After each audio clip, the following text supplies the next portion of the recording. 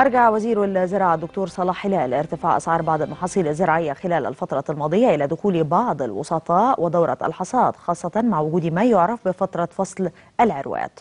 وخلال جولة مفاجئة والتي تفقد خلالها موقع يزرع المحمية والآلية بمدينة طوخ أكد هلال أن هناك تنسيق مستمر بين الوزارة المعنية لإيجاد حلول عاجلة لضبط الأسواق وأسعار المنتجات المختلفة.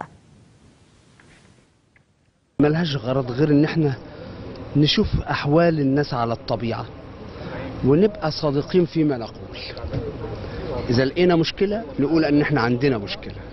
لقينا سلبيات نعالج السلبيات. ويبقى مبدأ الثواب والعقاب.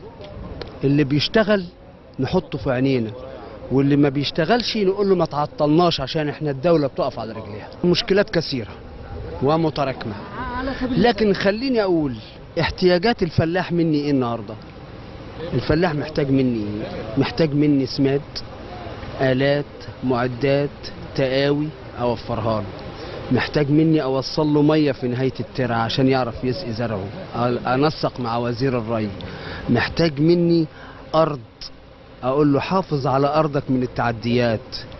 محتاج مني أسوق له محصوله بدل ما ينضحك عليه. محتاج مني في النهاية بقرة أو جاموسة يأكل منها أولاده شوية لبن. مش كده ولا إيه؟ تحت رعاية رئيس الوزراء ووزيري الصناعة والتجارة والمشروعات الصغيرة والمتوسطة والتموينية. افتتح اليوم معرض الغذاء الإفريقي فود أفريكا والمتخصص في الصناعات الغذائية والحاصلات الزراعية. يشارك في المعرض عدد كبير من الدول الإفريقية والعربية والأجنبية ونحو 120 شركة مصرية و75 شركة دولية وأكثر من مشتري ومستورد في مجال الغذاء. المعرض بيقام لأول مرة في مصر وهو متخصص في قطاع الصناعات الغذائية والحاصلات الزراعية. وإحنا شايفين المعرض ده إن شاء الله هو نقطة انطلاق إن مصر تكون رائدة في إنها تكون بوابة العالم لأفريقيا. معرضنا اسمه فود أفريكا عشان إحنا شايفين إن العالم لو عايز يقابل الدول الأفريقية فهو المكان إن هم يتقابلوا في مصر.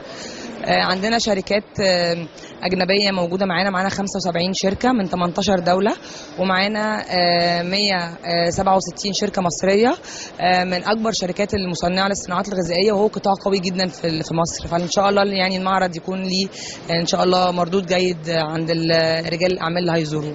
بعثة مشترين جاية من 350 مشتري نصهم من أفريقيا ودول عربية وشرق أوروبا وهيكون طبعا في متابعة بعد كده بقى للبيزنس اللي هيتم معاهم إن شاء الله.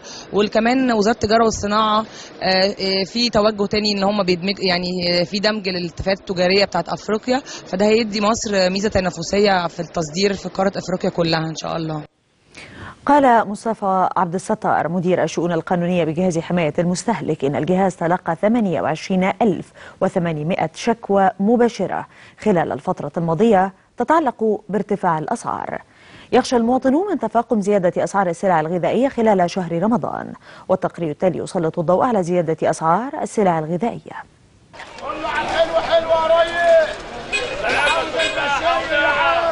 حمى ارتفاع الأسعار تجتاح كل بيت مصري بسيط.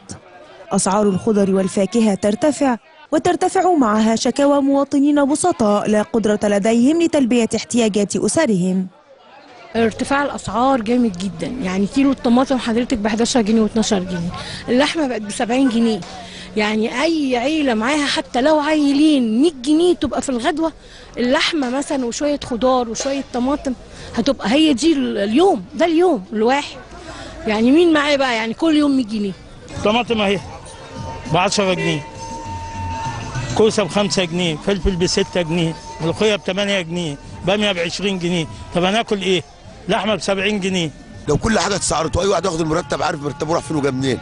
واحد ينزل كيلو طماطم ب 10 جنيه كيلو شارب 6 جنيه كيلو خوخ ب 10 جنيه. إيه ده؟ لا إحنا بقى مش عارفين نكسب. ومواصلات ومصاريف وده وده وده وده. والحكومة مستمره في حالنا. نعمل إيه بقى؟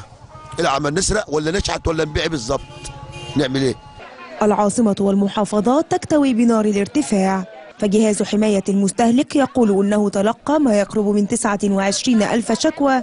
تتعلق بارتفاع الأسعار خلال أيام قليلة. وزارة التموين تبرر جنون الأسعار بفاصل العروة وهي الفترة التي يقترب فيها المحصول القديم من الانتهاء ويطرح المحصول الجديد الذي بمجرد نزوله السوق سيعيد الأسعار إلى حالها أو أقل برأي البعض. الحكومة تقول إنها ستضخ كميات كبيرة من السلع الأساسية ليزيد العرض على الطلب. فضلا عن تحرير محاضر ضد أي بائع يستغل المواطن ويبيع بسعر مخالف. أما المجمعات الاستهلاكية ملجأ محدود الدخل الأهم فسيزيد عددها بجميع المحافظات. كما سيتم دعم استيراد السلع الأساسية قبل حلول شهر رمضان المبارك. الأسواق بلا ضابط ولا رابط. والأسعار ترتفع بمبرر أو بدون ويبقى المواطن هو الضحية لحمى الأسعار. التي تضرب الأسواق بين الحين والآخر. تواصل محافظة الغربية استقبال طلبات الراغبين في الحصول على قروض لتنشيط وتطوير المشروعات في إطار مبادرة الرئيس السيسي للقضاء على البطالة من خلال المشروع القومي للتنمية المجتمعية مشروعك. ومع فتح آفاق جديدة أمام الشباب الطموحين للعمل تبرز بعض السلبيات والشكاوى التي تعوق نجاح هذا المشروع القومي. التقرير التالي يلقي الضوء على بعض هذه السلبيات. اختار مشروعك بهذه الجملة الموجزة. بدأت محافظة الغربية تطبيق المبادرة التي أطلقها الرئيس عبد الفتاح السيسي للقضاء على مشكلة البطالة وسعيا لتنمية المجتمع وتحويله لمجتمع إنتاجي بدلا من استهلاكي. وبحسب ما أعلن وزير التنمية المحلية اللواء عادل لبيب فقد ينهي هذا المشروع ظاهرة البطالة في خلال عام ونصف على الأكثر.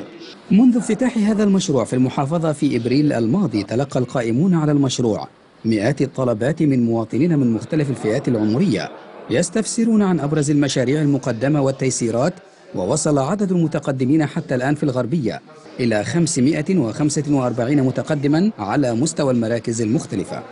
الأرقام وإن كانت في ظاهرها قليل إنما ده خد الشكل الجدي اللي هو تمهيدا ل- لأن هو يبتدي بالفعل. و و و وإحنا لما نقول الأرقام دي خدت الشكل الجدي في خلال أسبوعين أو ثلاثة أنا بعتبر إن ده مؤشر إيجابي مش مؤشر سلبي. لكن هذا لم يكن كافيا. فقد وقف الروتين حائلا دون استيفاء الأوراق بالنسبة للراغبين من الشباب. الشروط صعبة جدا والفايدة يعني الفايدة مش عالية هو القسط اللي عالي. يعني القسط 1000 ونص ل 15000 يعني عالي جدا. الجمعية أفضل منه اللي بيعملوها الناس في الشوارع دي. إنما اللي هم عاملينه ده غالي جدا ومكلف جدا على الناس. التجار وأصحاب المحال التجارية أيضا يرون أن لا فائدة تعود عليهم. وعملوا إعلانات وبدون فوائد وبدون وفي الآخر افاجئ اللي هي 15% 15% كتير. أنا لو رحت قدمت على كارد معدات بالنسبة للصندوق الاجتماعي قال لك 7% أنا أروح لل- للبرنامج بتاع الرئيس يقول لي 15% طب إزاي؟ مشاريع كثيرة يتضمنها برنامج مشروعك لكن يتوقف تنفيذها على دراسات الجدوى التي يعرضها القائمون على البرنامج للراغبين من المواطنين إلا أن هذه الدراسات يراها البعض غير مطابقة للواقع. ودراسة الجدوى اللي أنت شفتها برضك يعني غريبة شوية فيها حاجات غريبة. يعني الإيجارات آه، مش في محلها حتى الفكرة اللي حاطينها والاستهلاك والحاجة اللي بتبوظ. يعني مثلا بصوا حضرتك هنا. ده مثلا شقة خشب. التخانة والرجول والمنقار والمنشار والحاجات دي كلها مستحيل تيجي في مكان يتأجر ب 50 جنيه. على الجانب الآخر ترى هبة الله عادل مسؤولة البرنامج بمركز طنطا أن هذه الدراسات ليست إجبارية ولكنها تعد مساعدة من الحكومة للشباب بالنسبة لدراسات الجدوى مفيهاش مشكلة خالص.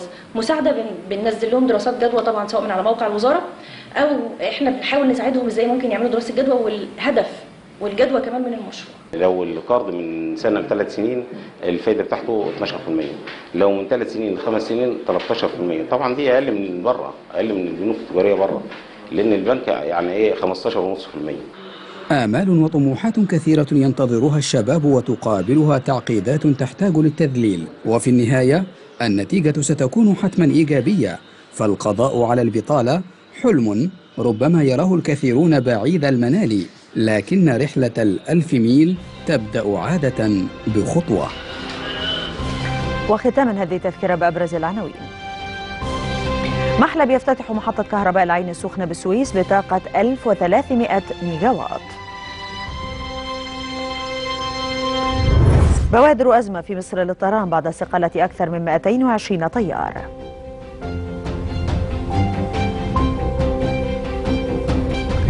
الهدوء يسود المناطق الحدودية جنوب السعودية بعد قصف حوثي لنجران وللمزيد من المتابعة لأخبار النهار يمكنكم زيارة موقعنا على الإنترنت www.anharlive.net كما يمكنكم التواصل معنا عبر مواقع التواصل الاجتماعي فيسبوك تويتر انستغرام ويوتيوب شكرا لكم وإلى اللقاء.